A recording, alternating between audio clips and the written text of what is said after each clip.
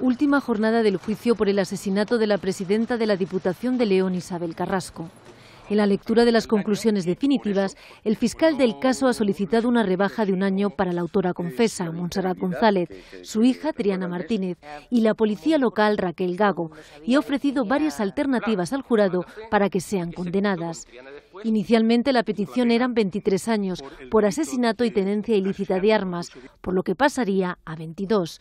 La segunda opción serían 15 años para Gago y Triana por cómplices de asesinato y la última, seis años de prisión para la gente como encubridora. Los abogados de la hija de la víctima, su pareja sentimental y el letrado que ejerce la acusación popular en nombre del PP se han sumado a la petición de la Fiscalía.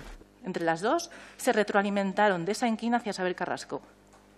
Es decir, Triana es la inductora. Si no es por ella, no hay asesinato. Se planificó fríamente se asesinó salvajemente, se encubrió con total maldad. Todo para ellos estaba justificado. Sin necesidad de abrir el bolso, sabía que el revólver estaba allí. Sabía que había estado con Triana Montserrat minutos antes del asesinato. Sabía que había estado aparcada con su coche. Sabía que había dado Triana, que había hablado con ella, que le había dejado un bolso en el coche. Si lo ¿Esto se lo cree alguien? Esto no se lo cree ni un niño pequeño de biberón.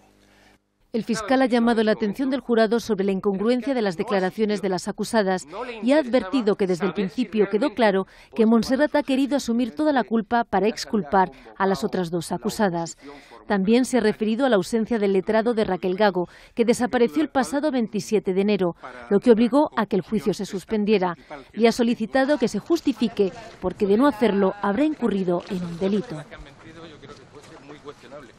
También ¿Considera que han mentido?